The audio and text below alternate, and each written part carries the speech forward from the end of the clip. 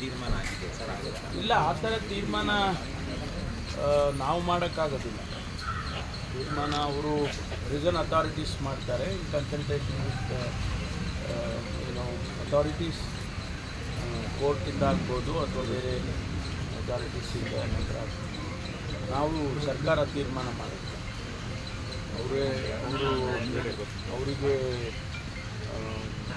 Certain norms ಅವರಿಗೆ ಇದೆ.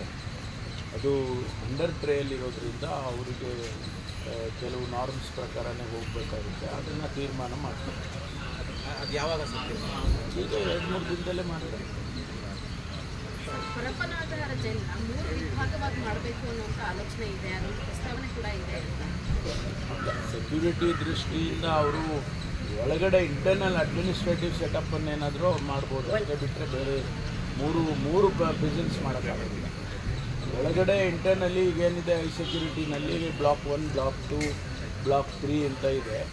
ಅದರ ಜೊತೆಗೆ ಬೇರೆ ಬೇರೆ ಬ್ಯಾರಕ್ಸ್ಗಳಿದ್ದಾವೆ ಅಂಡರ್ ಟ್ರೈಲ್ಸಿಗೆ ಬೇರೆ ಇಟ್ಟಿರ್ತಾರೆ. ಆಮೇಲೆ ಲೈಫ್ ಇಂಪ್ರಿಸನ್ಮೆಂಟ್ ಇರೋರಿಗೆ ಬೇರೆ ಇಟ್ಟಿರ್ತಾರೆ. ಆ ಥರ ಕ್ಯಾಟಗರೈಸೇಷನ್ ಮಾಡ್ಕೊಂಡು ಮಾಡ್ತಾರೆ. That is left to the prison administrators sir ನೆನ್ನೆ ಹೋಗಿದ್ರಲ್ಲ ಸರ್ ಏನು ವಿಚಾರಿಸಿ ಏನು ಹೆಂಗೆ ಅಷ್ಟು ಈಸಿಯಾಗಿ ಸಿಗ್ತಾ ಇದೆ ಅಂತ ಸರ್. ಯಾಕಂದರೆ ಅಲ್ಲಿ ದರ್ಶನ್ ಒಂದು ವಿಚಾರ ಆದರೆ ರೌಡಿ ಶೀಟರ್ ಅವನು. ಗುಂಡು ಹಾಕಿ ಕಲಿಸಿದ್ರು ವಿಲ್ಸನ್ ಗಾರ್ಡನ್ ನಾಗ. ಅಂತ ಅವ್ರಿಗೆಲ್ಲ ಅದೇ ಫೆಸಿಲಿಟಿ ಇದೆಯಾ ನಮಗೆ ಕಂಡು ಬಂದಿದ್ದು ಸರ್ಟನ್ ಲ್ಯಾಪ್ಸಸ್ ಅಂದರೆ ಅವರು ಈ ಬ್ಯಾರಕ್ನಿಂದ ಇನ್ನೊಂದು ಬ್ಯಾರಕ್ಗೆ ಹೋಗೋದಕ್ಕೆ ಅವ್ರನ್ನ ಅಲೋ ಮಾಡಿದ್ದಾರೆ ಅಂತ ಹೇಳಿ ಅಲ್ಲಿ ಗೊತ್ತಾಗಿದೆ ಮತ್ತು ಅದು ಸಿ ಸಿ ಟಿ ವಿನಲ್ಲೂ ಕೂಡ ಕ್ಯಾಪ್ಚರ್ ಆಗಿದೆ. ಹಾಗಾಗಿ ನಾವು ಅವ್ರ ಮೇಲೆ ಕ್ರಮ ತಗೊಳಕ್ಕಾಯ್ತು. ಇಲ್ಲದೇ ಇದ್ದರೆ ಬೇರೆ ರೀತಿ ನಾವು ಕ್ರಮ ತಗೊಳ್ತಿದ್ದೋ ಅಲ್ಲ ಈಗ ನಾವು ಅವ್ರನ್ನ ಒಂಬತ್ತು ಜನರನ್ನ ಸಸ್ಪೆಂಡ್ ಮಾಡಿದ್ದೇವೆ. ರಿಪ್ಲೇಸ್ ಮಾಡ್ತೀವಿ ಅವ್ರನ್ನ. ಅದು ಚೀಫ್ ಸೂಪರ್ಡೆಂಟನ್ನು ಕೂಡ ಸಸ್ಪೆಂಡ್ ಮಾಡಿದ್ದೇವೆ. ಆಮೇಲೆ ಇನ್ನೊಬ್ಬರು ಸೂಪರ್ಡೆಂಟು ಅವರನ್ನು ಸಸ್ಪೆಂಡ್ ಮಾಡಿದ್ದೇವೆ. ಬೇರೆಯವರು ಯಾರ್ಯಾರು ಅಲ್ಲಿ ಅವರಿಗೆ ದರ್ಶನ್ ಅವರ ಆ ಗುಂಪಿಗೆ ಸಹಾಯ ಮಾಡಿದರು. ಚೇರ್ ತಂದು ಕೊಟ್ಟರು ಕಾಫಿ ತಂದು ಕೊಟ್ಟರು ಅಥವಾ ಸಿಗರೇಟ್ ತಂದು ಕೊಟ್ಟರು ಇದೆಲ್ಲ ಏನು ಸಿ ಸಿ ಟಿ ವಿನಲ್ಲಿ ಅನೇಕ ಇದು ಕ್ಯಾಪ್ಚರ್ ಆಗಿದೆ. ಅದನ್ನು ನೋಡಿಕೊಂಡು ಅವ್ರನ್ನೆಲ್ಲರನ್ನು ಕೂಡ ಸಸ್ಪೆಂಡ್ ಮಾಡಿದ್ದಾರೆ. ಮತ್ತು ಮುಂದೆ ಇನ್ನೂ ತನಿಖೆ ಮುಂದುವರಿತಾ ಇದೆ. ಈಗಾಗಲೇ ಇವತ್ತು ಬಹುಶಃ ಒಂದು ಎಸ್, ಐ ಪಿ ಎಸ್ ಆಫೀಸರ್ಗೆ ಫರ್ದರ್ ಎನ್ಕ್ವೈರಿ ಮಾಡೋದಕ್ಕೆ ನೇಮಕ ಮಾಡ್ತೀವಿ. ಅವರು ಏನೆಲ್ಲ ಫೈಂಡಿಂಗ್ಸ್ ಬರುತ್ತೆ ನೋಡಿಕೊಂಡು ಪರ್ಮನೆಂಟ್ ಸೊಲ್ಯೂಷನ್ಸು ಕೆಲವನ್ನ ಮಾಡಬೇಕಾಗುತ್ತೆ. ಅದನ್ನು ಆ ವರದಿ ಬಂದ ಮೇಲೆ ಮಾಡ್ತೀವಿ. ಸರ್ ಟ್ವೆಂಟಿ ಟ್ವೆಂಟಿನಲ್ಲಿ ಒಂದು ವರದಿಯನ್ನು ನೀಡಲಾಗಿತ್ತು. ಅಂದರೆ ಜೈಲು ಸುಧಾರಣೆಗಳ ಬಗ್ಗೆ ಅಂತ. ಆ ವರದಿಯನ್ನು ಏನಾದ್ರು ಇಂಪ್ಲಿಮೆಂಟ್ ಮಾಡಿ ಇಲ್ಲ ನನಗೆ ಅದು ಗಮನಕ್ಕೆ ಬಂದಿರಲಿಲ್ಲ. ನಿನ್ನೆ ತಾನೇ ಹೇಳಿದ್ದಾರೆ. ನಮ್ಮ ಎಚ್ ಕೆ ಪಾಟೀಲರು ಕೂಡ ಅವರು ಒಂದು ವರದಿ ಕೊಟ್ಟಿದ್ದೆ ಅಂತ ಹೇಳಿದ್ದಾರೆ. ಅದು ಕೂಡ ನನ್ನ ಗಮನಕ್ಕೆ ಬಂದಿರಲಿಲ್ಲ. ಈಗ ಅದನ್ನು ತರಿಸ್ಕೊಳ್ತೇನೆ. ತರಿಸ್ಕೊಂಡು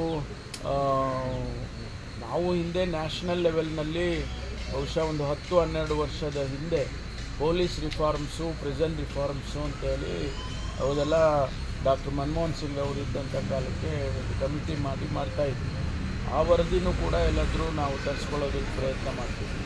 ಒಟ್ಟಾರೆ ಈಗಿರುವಂಥ ವ್ಯವಸ್ಥೆ ಏನಿದೆ, ಅದನ್ನು ಸ್ವಲ್ಪ ಬದಲಾವಣೆ ಮಾಡೋದಕ್ಕೆ ಅಗತ್ಯ ಇದೆ, ಅದನ್ನು ಮಾಡ್ತೇವೆ.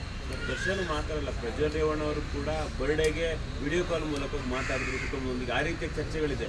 ಬೇರೆಯವ್ರಿಗೂ ಕೂಡ ರಾಯಲ್ ಟ್ರೀಟ್ಮೆಂಟ್ ಕೊಂಡಾಗ್ತಾ ಇದೆ ಅಂತ ಈ ಬಗ್ಗೆ ಎಲ್ಲನೂ ಕೂಡ ಈಗ ನಾವು ಈ ಘಟನೆ ನಡೆದ ಮೇಲೆ ಇಡೀ ಅಲ್ಲಿ ಏನು ಪ್ರಿಸನ್ನಲ್ಲಿ ಏನೆಲ್ಲ ನಡೀತಾ ಇದೆ ದರ್ಶನ್ ಅವರ ವಿಚಾರ ಒಂದೇ ಅಲ್ಲ ಬೇರೆ ಎಲ್ಲ ವ್ಯವಸ್ಥೆಯನ್ನು ಕೂಡ ರಿವ್ಯೂ ಮಾಡ್ತೇವೆ ಅದಕ್ಕೆ ನಾನೀಗೊಂದು ಐ ಐ ಪಿ ಎಸ್ ಆಫೀಸರ್ಸ್ನ ನೇಮಕ ಮಾಡಿ ಸಮಿತಿ ಮಾಡೋ ರೀತಿಯಲ್ಲಿ ಮಾಡ್ತಾ ಇದ್ದೀವಿ. ಅವರಿಗೆ ಎಂಟೈರ್ ಪ್ರಿಸನ್ ಇದನ್ನು ಕೂಡ ಅದನ್ನು ರಿವ್ಯೂ ಮಾಡಿ ಮತ್ತು ಬೇರೆ ಬೇರೆ ಪ್ರೆಸೆನ್ಸಲ್ಲಿ ಕೂಡ ಏನು ನಡೀತಾ ಇದೆ ಅದನ್ನು ಕೂಡ ವರದಿ ತರಿಸ್ಕೊಳ್ತಾ ಇದ್ದೀವಿ.